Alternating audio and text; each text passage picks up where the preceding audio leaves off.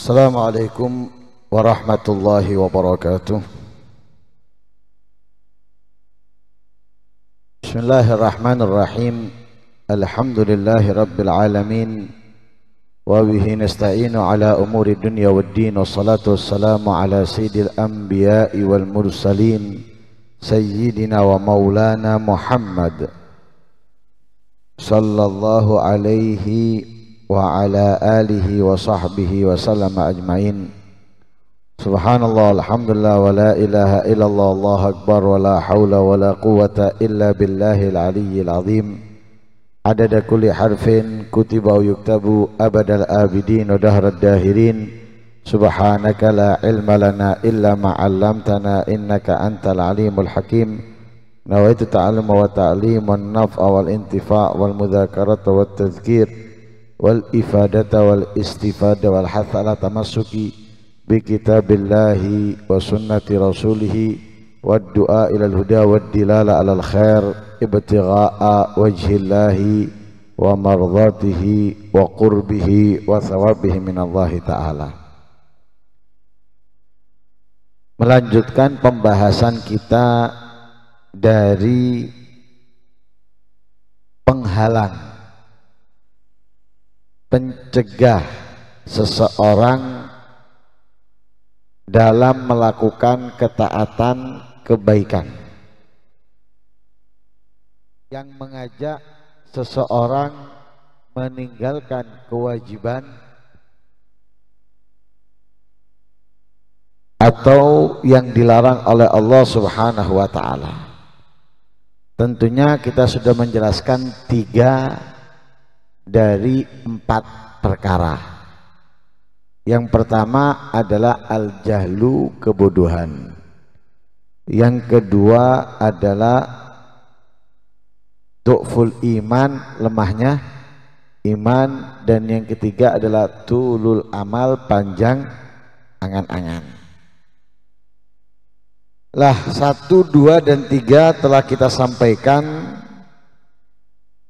Kali ini yang keempat yaitu Tanawulul haram wasyubuhat Mengambil, memakai, memakan atau meminum yang haram dan yang syubhat Ini dua hal yang berbeda Haram dan syubhat.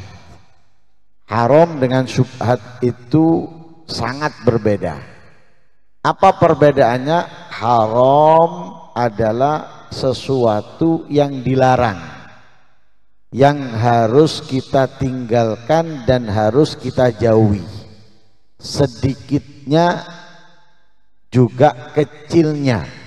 Apalagi besarnya dan banyaknya. Jangan ngomong haram titik tok ndak popo ndak oleh. Sedikitnya nggak boleh, kecilnya nggak boleh, apalagi besar dan banyaknya itu haram. Jadi benar-benar harus dijauhi, ditinggalkan. Kalau subhat, subhat itu tidak jelas haramnya, tidak jelas halalnya. Dibilang haram nggak bisa, dibilang halal juga enggak enggak bisa. Itu syubhat. Jadi remeng remeng. Enggak sepiro jelas. Itu syubhat. Kalau haram harus ditinggalkan dijauhi dihindari. Kalau syubhat dianjurkan untuk dijauhi ditinggalkan. Dianjurkan. Afdolnya utamanya syubhat itu kita jauhi. Tidak kita ambil tidak kita pakai tidak kita makan tidak kita minum. Sesuai dengan hadisnya Rasul sallallahu alaihi wasallam dak mayaribuk ila mala yaribuk. Tinggalkan segala sesuatu yang kamu ragu ke segala sesuatu yang kamu tidak ragu alias yakin. Nah, kenapa kok diperintahkan oleh Rasulullah untuk ditinggalkan? dan menjadi afdolnya utamanya ditinggalkan khawatir nanti akhirnya tahu ternyata haram resiko walaupun saat makan dia nggak berdosa akan tetapi ketika nantinya ketahuan itu haram akhirnya pernah sesuatu yang haram itu masuk tubuhnya walaupun saat ia memakan, meminum atau memakainya tidak ketahuan. Karena itu dianjurkan oleh Rasulullah nyari aman ditinggalkan sudah yang syubhat. Karena itu afdolnya yang syubhat itu ditinggalkan.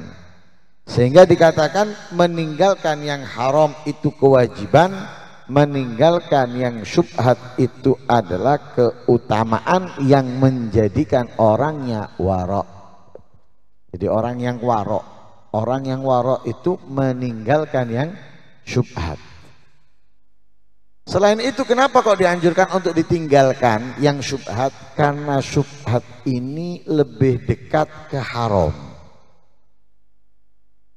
Dikatakan innalikulli syai'in hima wa himallahi maharimu. Segala sesuatu itu ada batas.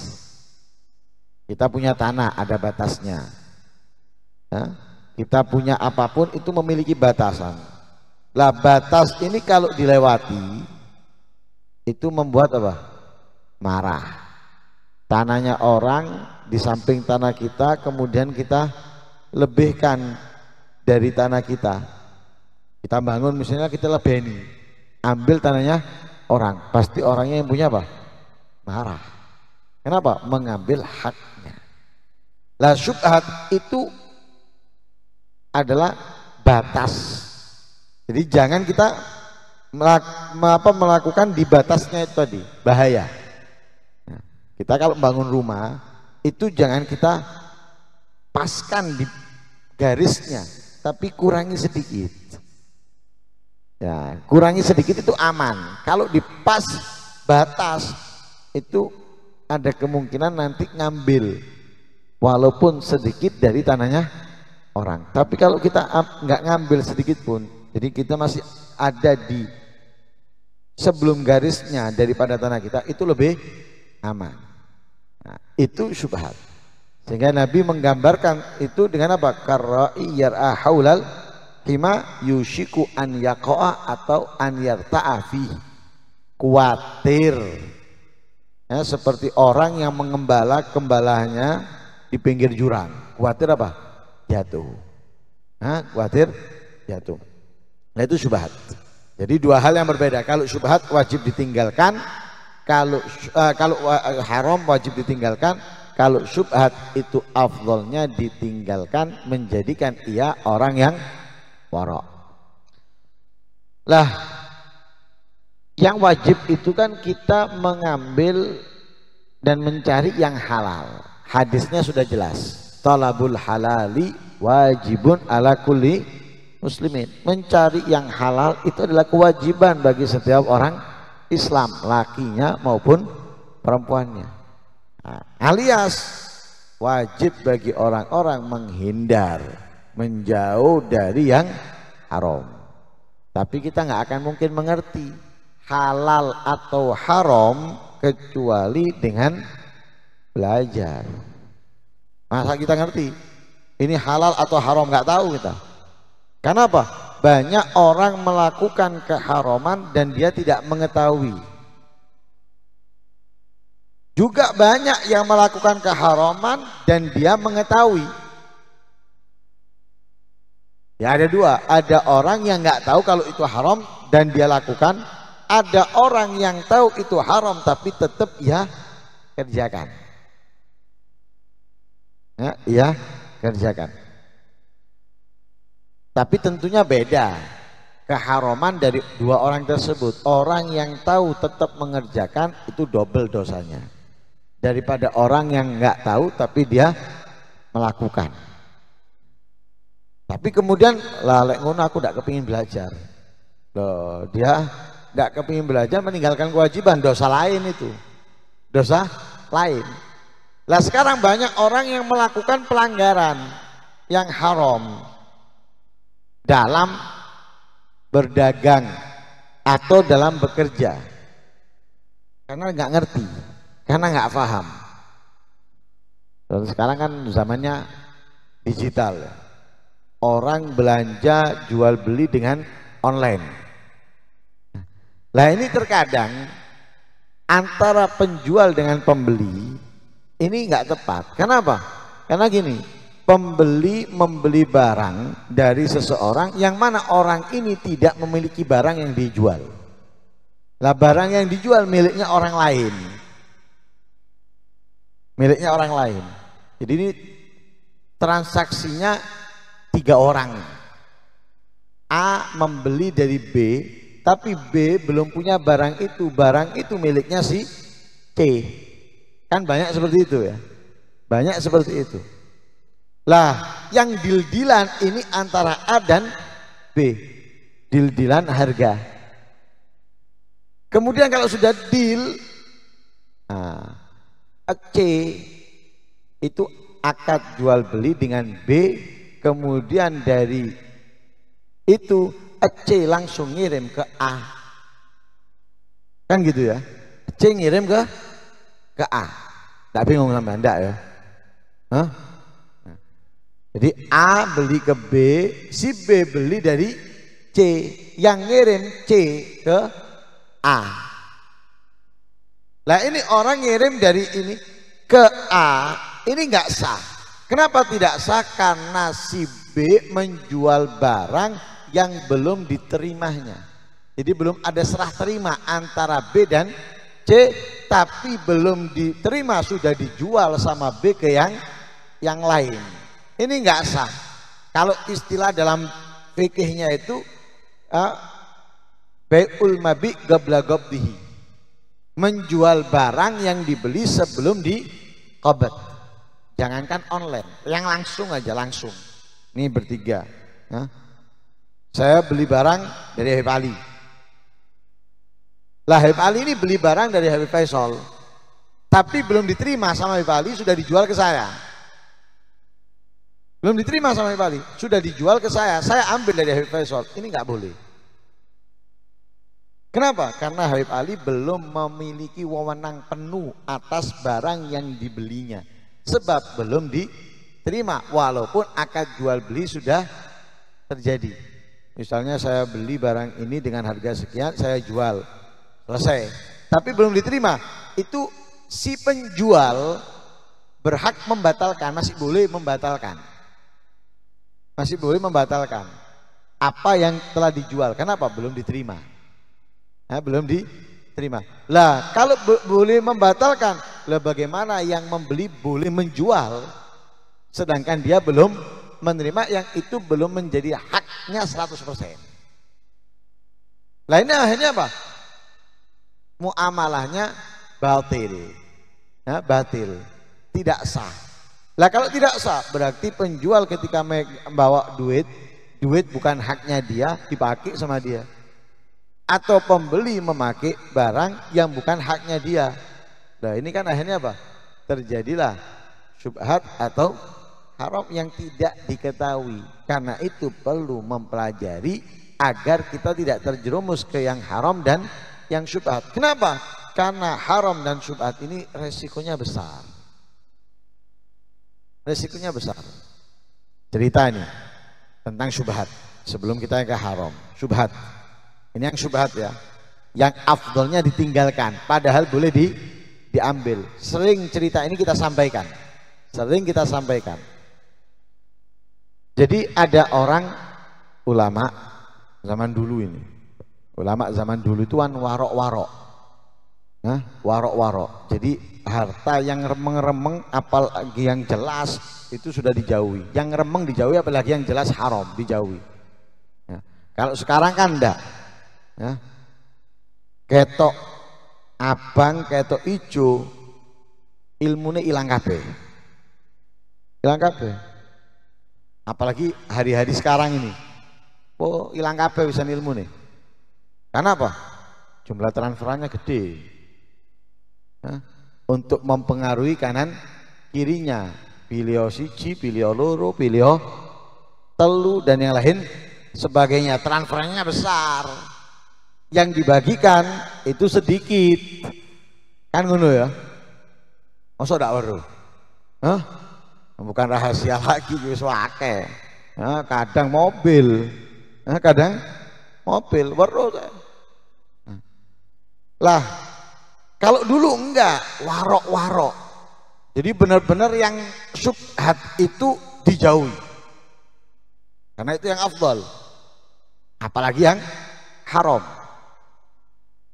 Lah kebiasaan dia kalau mau makan itu selalu tanya, ini dari mana?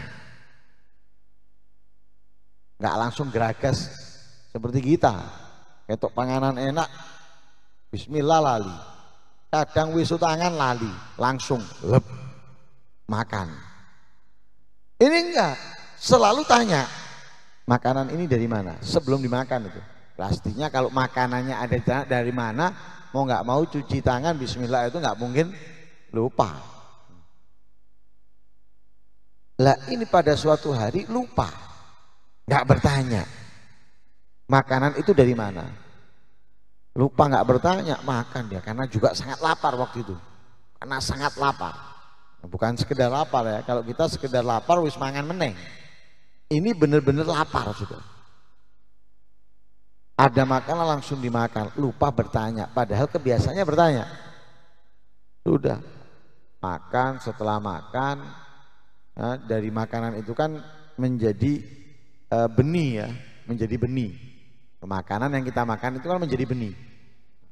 Lah dari benih itu keluar, dikeluarkan ke kolamnya ya, dikeluarkan di kolamnya ngerti ya, ya perjelaskan tidak enak dikeluarkan di kolamnya akhirnya mengandung lahir seorang anak lah anak ini lahir hari demi hari tahun demi tahun anaknya ini sifatnya jauh berbeda dengan ayahnya Jauh berbeda dengan ayahnya.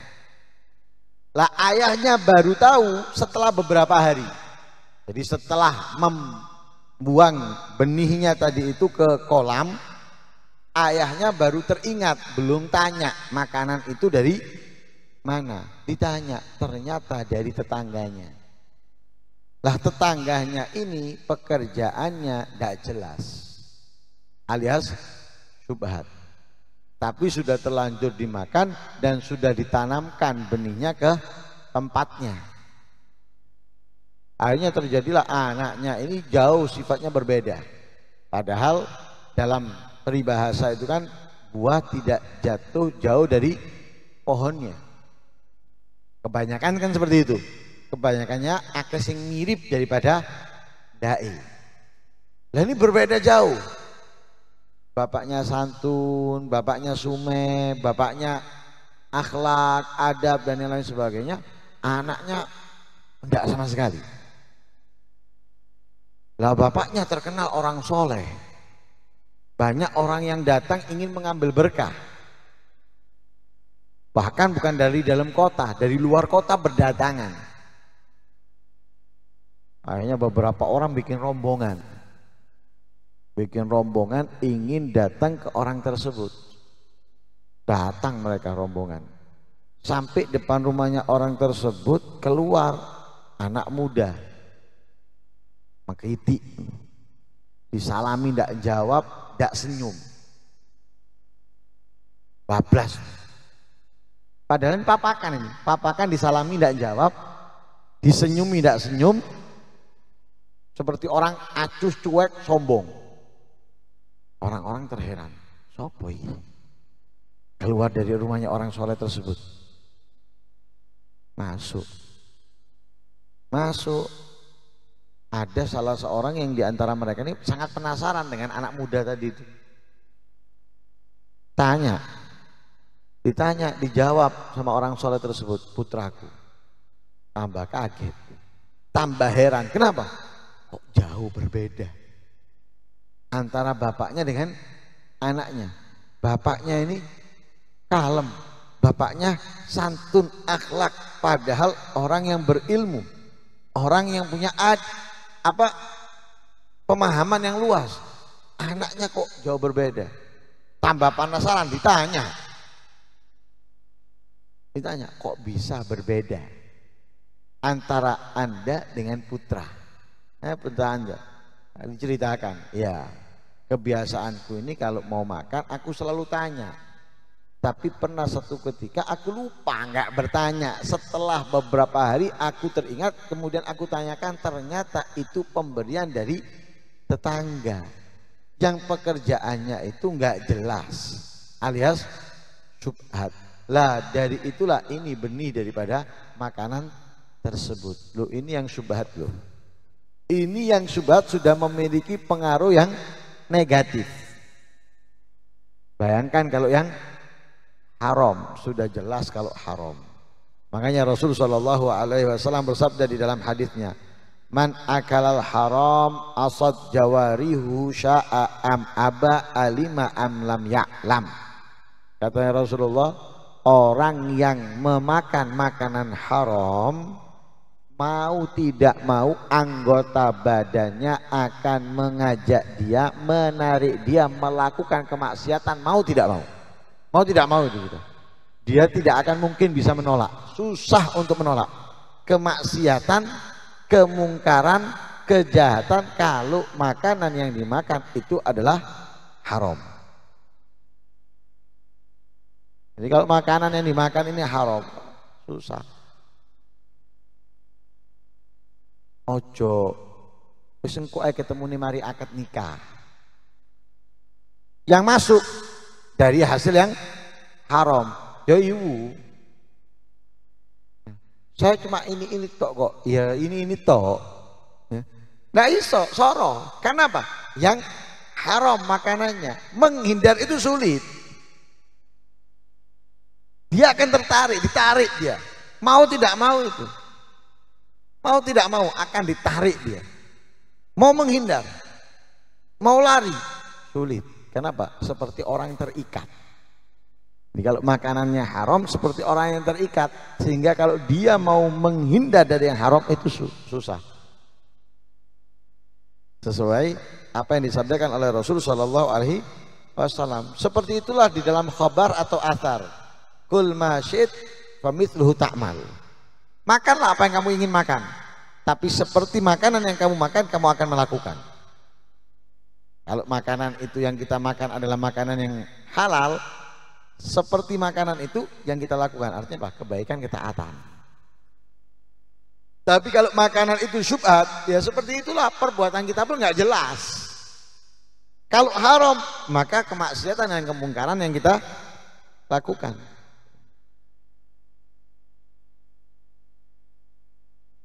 Karena itu kita harus menghindar dari makanan, minuman, pakaian dan segala sesuatu yang haram dan yang syubhat agar ketaatan kita, kebaikan kita, ibadah kita diterima oleh Allah Subhanahu wa taala. Sholat nggak diterima, doa nggak diterima, puasa nggak diterima, melakukan sedekah nggak diterima. Ini nggak diterima kalau makanannya, minumannya, pakaiannya haram atau syubhat nggak diterima. Hadisnya jelas. Ada seseorang mengangkat kedua tangannya berdoa. Ini serius ini. Memohonnya. Kalau kita kan doa ingin itu. Seperti serius seperti anda. Ini mengangkat. Benar-benar minta. Malah sifatnya orang tersebut disifatkan oleh Rasulullah ash'ath akbar tompang camping kumuh Kenapa? Menempuh perjalanan yang jauh. Rajulun yutilus safar. Ash'ath agbar.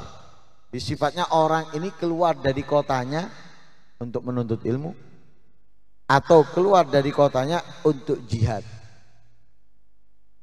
Menempuh perjalanan yang jauh sehingga membuat bajunya kotor, compang camping dan rusuh kumuh.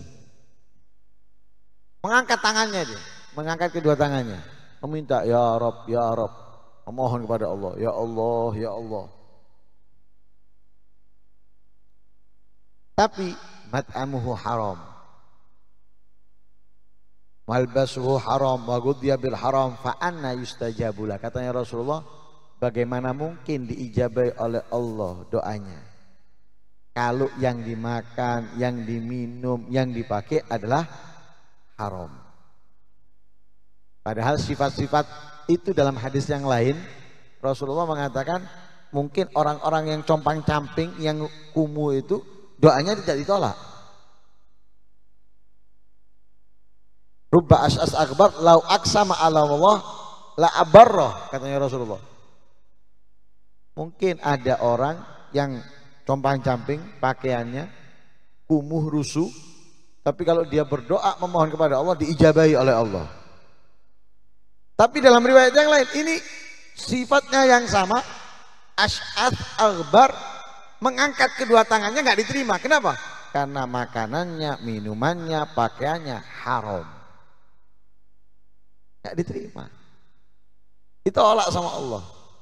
Sebanyak apa pun ibadahnya, ketaatannya, kebaikannya kalau yang dimakan, yang diminum, yang dipakai, yang ia miliki syubhat atau haram nggak diterima. Kenapa? Allah itu mau menerima dari yang bagus-bagus. Mau menerima dari yang baik baik. Innallaha thayyibun la yakbalu illa tayyiban. Allah itu baik, Allah itu bagus, tidak mau menerima kecuali yang bagus. Dalam ayat Al-Qur'an telah jelas, innama yataqabbalullahu minal mut muttaqin. Allah itu mau menerima hanya dari orang-orang yang bertakwa. Kenapa? Orang yang bertakwa itu adalah orang yang baik, orang yang bagus. Nah, karena itu kita harus pinter memilih, pintar mencari pekerjaan dan jangan tergiur dengan keuntungan yang besar atau gaji yang besar tapi kalau haram percuma. Sholat nggak bisa diterima. Doa nggak diterima. Ibadah ini ibadah itu nggak diterima. Kenapa? Karena haram. Lah buat apa cuma? Keuntungan besar. Keuntungan besar buat apa? Percuma. Maaf maaf. PNS itu gajinya termasuk subhat. Nah, PNS itu gajinya termasuk subhat. Kok bisa? Ya, kan ada peraturan. Masuk jam sekian, pulang jam sekian. Peraturan dibuat.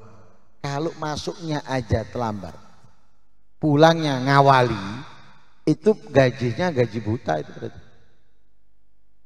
Atau misalnya nggak masuk di rumah dibayar. Dapat bayaran, nggak masuk di rumah dapat bayaran. Makanya mereka itu kadang-kadang mengcovidkan dirinya. Enak tengah-tengah ono oma tapi bayaran tetap nggak apa-apa istilah covid. Tak metu koma tengah tengok mangan turu mangan turu untuk bayaran. Ayo coba sama yang kerja di toko-toko. Telat lagi. Denda. Telat belum buka tokonya masih tutup. Tokonya masih tutup belum buka, tapi datang jamnya juragannya atau bosnya sudah datang duluan, sudah dapat potongan. Sudah dapat potongan. Dipotong sudah. Ini nggak masuk dibayar. Loh dibayar karena apa? Dibayar karena apa coba? Dia nggak kerja, nggak ngerjakan apa pun, nggak masuk dibayar. Makanya subhat. Subhat. Makanya nyari kerja itu jangan nyari keuntungan. Tapi nyari halal. Halal itu bisa mengandung berkah. Kalau berkah walaupun kecil bisa mengalahkan yang besar. Al-Habib Ali Habsyi. Dalam gosidanya beliau mengatakan apa? Habba idza barakal maula talaqi hubub. Satu biji kalau diberkahi oleh Allah Subhanahu wa taala akan memberikan banyak biji. Tapi kalau nggak diberkahi satu biji nggak jadi apa-apa. Tapi kalau diberkahi bisa menjadi banyak biji. Sama dengan penghasilan. Kalaupun kecil halal diberkahi bisa mengalahkan yang banyak dan besar. Karena itu untung kecil sedikit tapi halal itu jauh lebih baik dan jauh lebih manfaat daripada besar banyak tapi haram atau subhat. Kenapa? Sedikit doa kita bisa diijabahi oleh Allah. Salat bisa diterima, puasa bisa diterima, zakat bisa diterima, melakukan kebaikan itu kebaikan ini bisa diterima. Lu enak. Makanya kalau kita lihat di antara syarat diterimanya sholat, di antara syarat diterimanya zakat, haji dan lain sebagainya, itu pertama modalnya harus halal. Berangkat haji, nyeluk ojo tonggo kanan kiri, sak kota, sak kecamatan di Curug Kabeh diundang untuk mendoakan supaya menjadi haji mabrur. Tapi berangkat dengan uang haram, tidak mungkin mabrur. Mabur pasti. Hah? Mabur pasti, tapi mabrur nggak mungkin. Nggak mungkin. Kenapa? Modalnya untuk mabrur sebelum di sana, sebelum di sana itu harus halal. Sebelum di sana. Nah nanti di sana dia harus menjaga perbuatan dan percakapannya. Perkataan dan perbuatan harus dijaga supaya mabrur. Tapi pertama sebelum berangkat modalnya diisi. Uang yang untuk berangkat itu halal atau haram. Nah, karena itu ini yang dapat menghalangi kita dari ketaatan. Menjerumuskan kita dalam kemaksiatan. Yang keempat adalah memakan, meminum, memaki, memiliki yang haram dan yang subhat. Ini kita harapkan mudah-mudahan Allah Subhanahu wa taala menghindarkan kita dari yang subhat, haram, mendekatkan kita dari yang halal dan mudah-mudahan yang halal yang kita dapatkan diberkahi oleh Allah Subhanahu wa taala dan dengan keberkahannya kita bisa terus meningkatkan kebaikan ketaatan ibadah kepada Allah Subhanahu wa taala. Amin Allahumma amin. Wassallallahu ala sayyidina Muhammadin nabiyil ummi walhamdulillahi rabbil alamin.